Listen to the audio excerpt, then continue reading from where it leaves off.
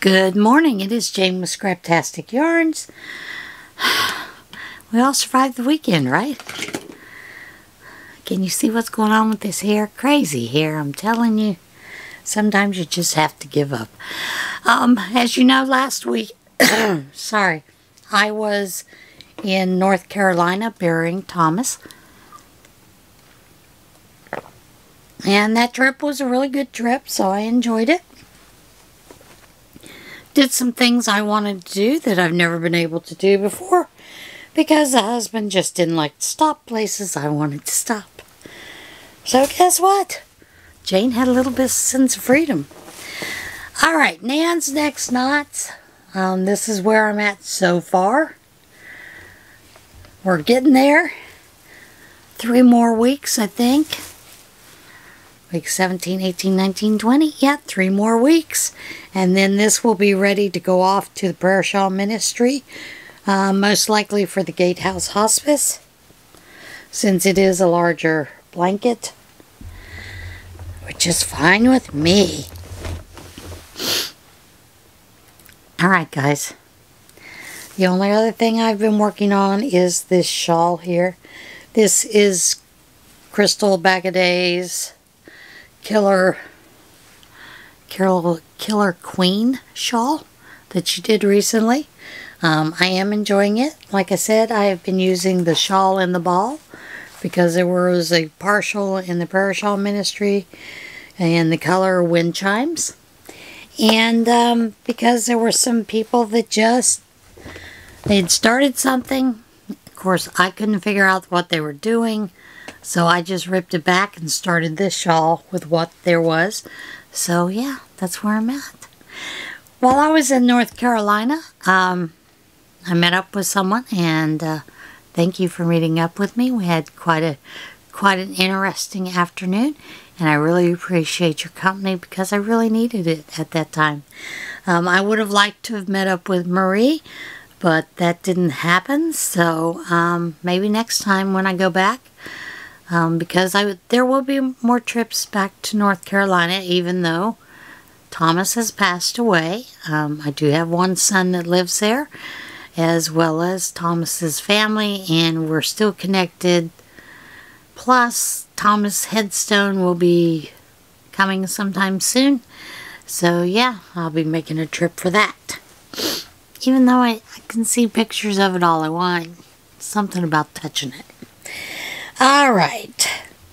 While I was there, stopped at Hobby Lobby. We had a grand time at Hobby Lobby. Yarn wasn't on sale, but that didn't stop us from looking. And uh, the other thing is, I did buy some fabric. Lately, Hobby Lobby has been having 40% off on their fabrics.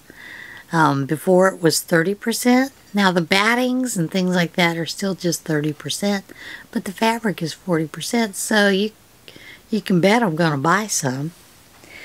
But I have been eyeing this fabric for quite some time.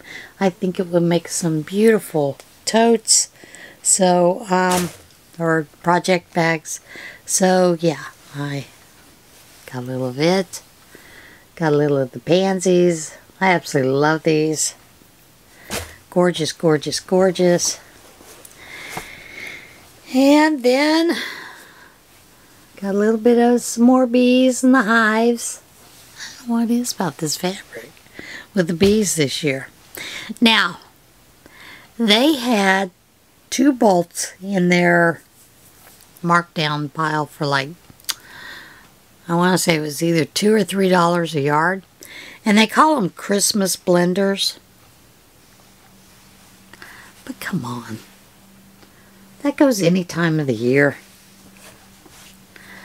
So does the green, any time of the year. So yeah, I did stop and get those purchases. And then I'd stopped over at the Michaels there um, at Alamance Crossing and got a couple of things. Um, they were out of bags. They hadn't come in on the truck yet. So she threw it into a trash bag. You know, whatever. But, uh, what I got were two of the Ogo Carons, the big donuts. And these are 9.9 .9 ounces, 502 yards. It's number four. And this is in the color Frostberry. So I picked up two of those. Um, they had them marked down for $3 each. So I did pick up two of those. And I haven't decided if I'm going to work with those or if I'll take those up to Prayer Shawl. So, you know, you never know. And then, um,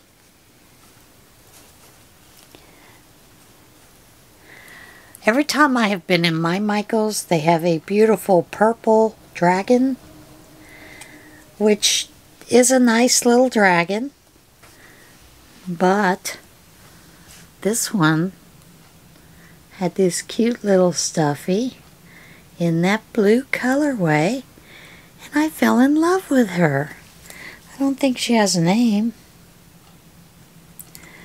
You know, sometimes they name the Beanie Baby, sometimes they don't. Let's look and see. Sapphire. This is Beanie Boo's collection. Her birthday was Febu February the 23rd. Aw, Sapphire. But, um, yeah. So that is it for what I've been up to other than um, walking.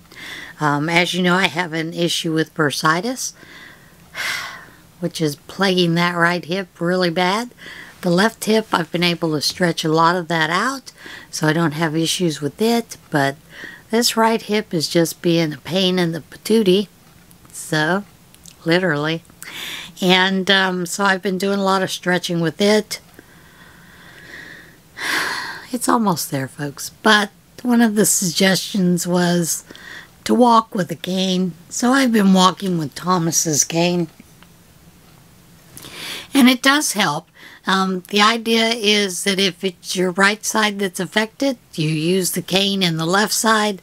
That keeps you from doing your hip waddle. I don't, I don't understand the mechanics of it but it is helping. And I am able to get a few more steps by doing that.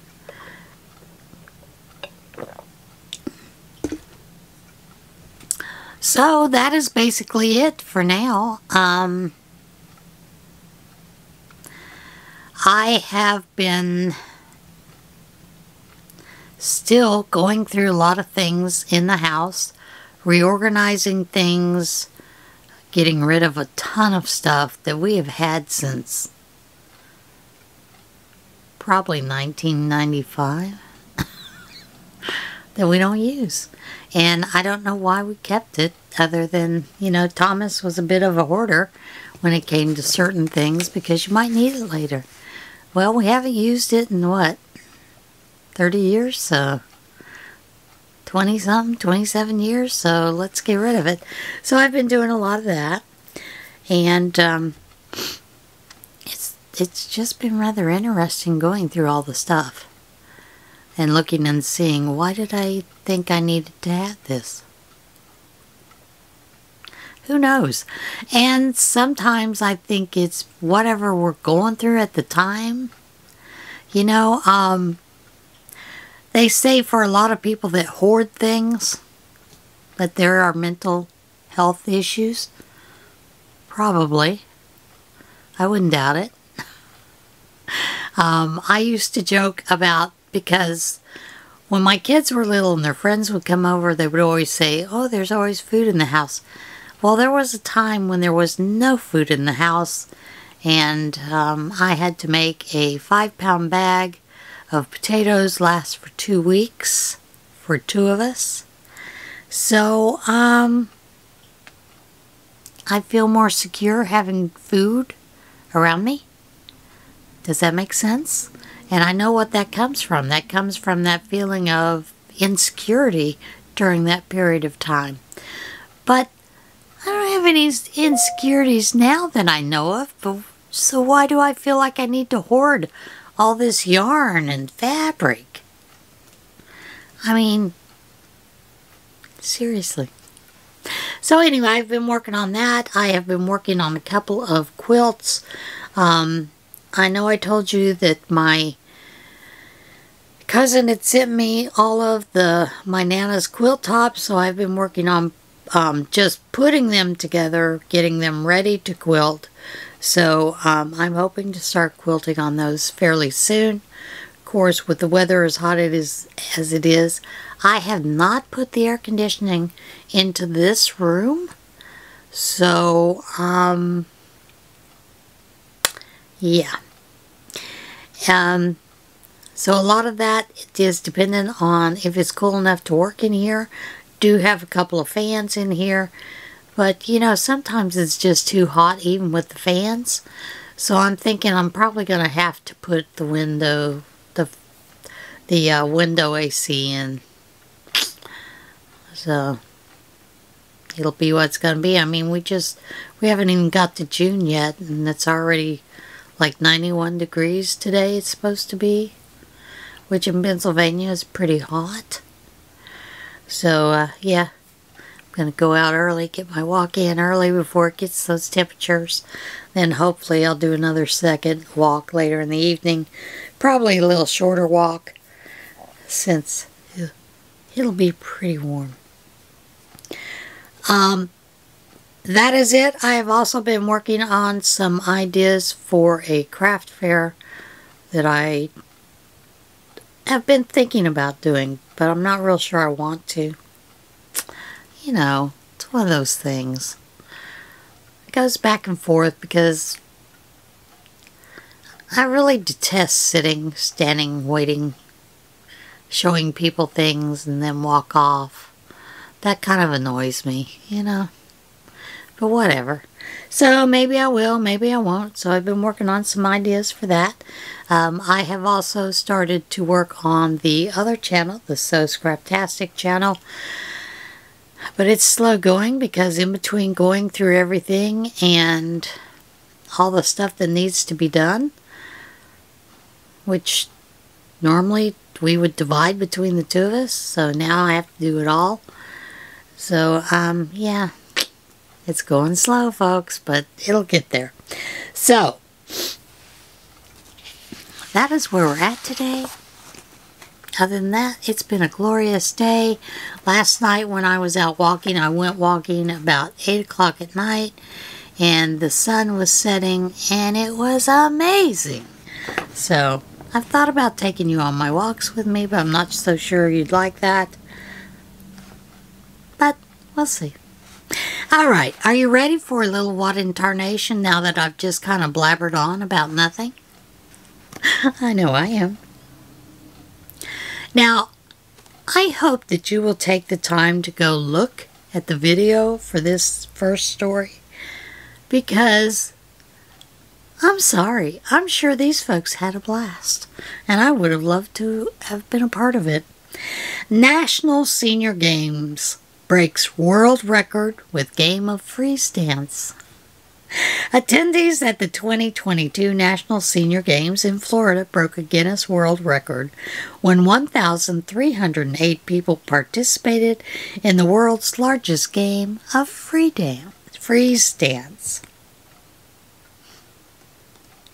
The event at Las Olas Intercoastal Promenade Park in Park, Park in Fort Lauderdale was witnessed by Guinness World Records adjudicator and was confirmed as the world's largest game of free dance. A game that calls on players to abruptly freeze in place when the music stops and remain still until the music resumes. you know, kind of like musical chairs. The record attempt was planned by the National Senior Games Association and Pacira Biosciences. Organizers said the game Freeze Dance was chosen to promote lovers, to promote iovera, a cold therapy device designed to reduce pain in knee osteoarthritis patients. Sorry about that. The winner of the freeze dance game was Jesse Lee, falling of Broken Arrow, Oklahoma, who was attending the games to support his mother, a competitor in track and field events. See, there's no reason as you get older you can't do things like this. So let's get out enjoy. Now, so go watch the video. It's really cute.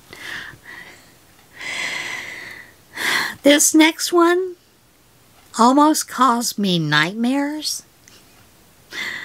Um, I grew up in New Mexico and there were a lot of tarantulas around where I lived. And um, tarantulas can jump pretty high. And when it rained, they would come out of, they dig holes, tunnels down into a burrow into the ground. And when it rained, they would come up. You never knew if they would jump or not. This is along those lines, only it's not a spider. Jumping worms, the evil twin of earthworms, showing up in California. So, California, I hope you keep your jumping worms. Gardeners, beware. The invasive Amynthas agrestis, agrestis Oh, that's a hard name to pronounce. Also known as the Asian jumping worm, could be wiggling around the garden near you. Not me. These worms are known for their insatiable appetite and ability to jump a foot, a foot in the air. Yes, you read that right, a foot. True to their name, they jump and thrush immediately when handled, behaving more like a threatened snake than a worm, sometimes even breaking and shedding their tail when caught, said the California Department of Food and Agriculture in a report, adding that they have been known to jump off the ground or out of bait cans. I'm not fishing with those guys either. As if that's not disconcerting enough, the worms are extremely, extremely active, aggressive, and have voracious appetites, the CDFA warned in the report. According to recent news coverage, Asian jumping worms have been spotted in California with greater frequency of late. Native to East Asia, particularly Japan and the Korean Peninsula, these worms began arriving in the United States in the early 1900s, tucked away in the soil of potted plants, according to the U.S. Department of Agriculture. Since then, the worms have wiggled, wiggled their way across the U.S. and can now be found in at least 34 states. Please, Lord, don't let it be Pennsylvania. Help! Hashtag NYI map invasives. Find invasive species like hashtag jumping worm in the video in their annual mapping challenge now through July 31st. Find invasives, report them to IMAP, and watch yourself rise on the leaderboard. Maybe earn some fame. No, don't want to. Not gonna. This this video here and the newscasters that told the story, you can see the heartwarm, heartwarming event that it caused in these newscasters to see the video and to report on this story. It's very positive. Squirrel freed of zip tie belt in Michigan. A Michigan woman was able to rescue a squirrel with a zip tie around its body with the help of social media and a local animal rescuer. Joanne Mason said she initially noticed something was unusual about the squirrel when she saw it outside the back door of her Allegan home. I look out my window and there's this squirrel and it has something white around it, she told WWMT TV. I look closer and it's a zip tie. Mason posted about the squirrel in the Allegheny County Informed group on Facebook, where users nicknamed the animal Mr. Zippy. The group connected Mason with Mary Humphrey, a woman who helps capture lost animals as a hobby. Humphrey set up a trap in Mason's yard that was successful in snaring Mr. Zippy after a few days. You know, the amazing thing was this was all caught on camera while the reporter was there. So, I mean, it's amazing. Mason said she was watching through a window when the squirrel approached the trap. I was trying to stay calm and I kept saying, Come on, come on, come on. And then he came closer and the trap went off, and I was just so happy, Mason said. Humphrey donned thick gloves and was able to grab hold of the squirrel and cut the zip tie from around its body. Mr. Zippy was immediately released back into the yard. Mr. Zippy has been set free of his white zip tie belt, Mason announced in the Facebook group. So, and I think the reporters in the story said that they went in with a winter coat and winter gloves, you know, to prevent the squirrel from biting them. Because, you know, when squirrels are scared, they do bite. But it's a very heartwarming story, and I hope you will watch the video. Um, Miss Mason, she has quite a few things that I think we need to hear in this day and age. So, that's all I'm saying. Now, wolves have long been a part of my life. Um, I love wolves. I have in many times collected figurines of wolves, um, t-shirts with wolves on them, those kind of things. Um, wolves are my spirit animal, and for spirit animals, it also means it's a bit of an educator, a bit of a wild uh, card. So, yeah. So I'm real thrilled to hear to read this story. Rhode Island Zoo welcomes birth of the world's most endangered wolf. A Rhode Island zoo announced the birth of a critically endangered red wolf pup, the first born at the facility since 2005.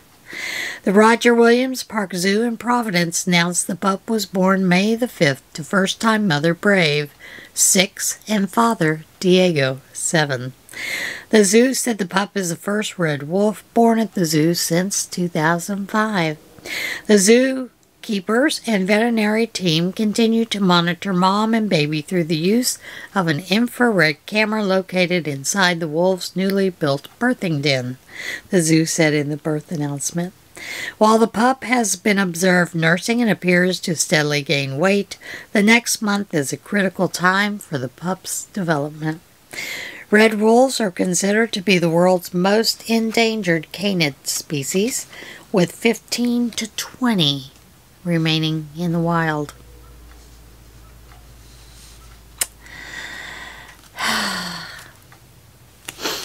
now this next story. I mean, I can understand prote protesting climate change, climate issues, but seriously, the way this person chose to do it was just wrong. You know, find a better way. Um, to do this than to try to destroy artwork?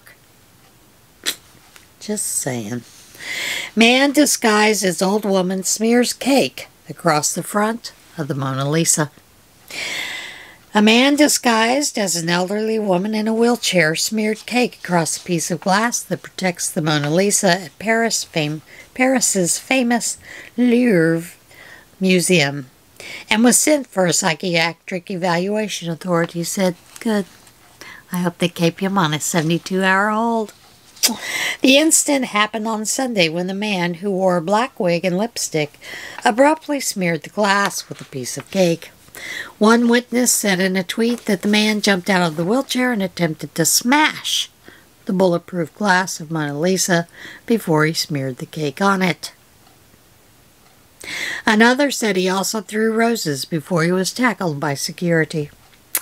Some said the stunt appeared to be a climate change protest, and the 36 year old man shouted in French to think about the earth. Seriously? France? French? When you're burning things left and right in protest? Really? The man was arrested and sent for psychiatric evaluation.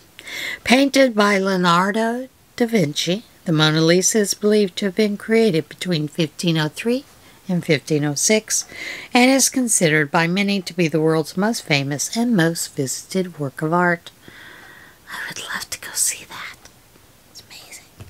Bulletproof glass was placed over the painting after two attacks in 1956 when it was splashed with acid and chipped with a rock. Could you not find a better target than the piece of art? I mean, really. Think about it. You want us to think about the earth, but then you're destroying, you're trying to destroy something. So, I don't know. Whatever, right? All right, guys. I hope that you will get out sometime, even if it's just to sit out on a porch for a little bit and see the beautiful sunrises, sunsets that God has provided for us, as well as marvel at all the unique things in the United States and the world from this great big creation, this big blue marble we live on. And just know that there was a creator that created it. And as always, be kind. Be kind to one another, love one another, all that good stuff. And I will see you again soon. And that's it for now. So, everybody, have a great week. I will see you again soon. And, uh, yeah, bye.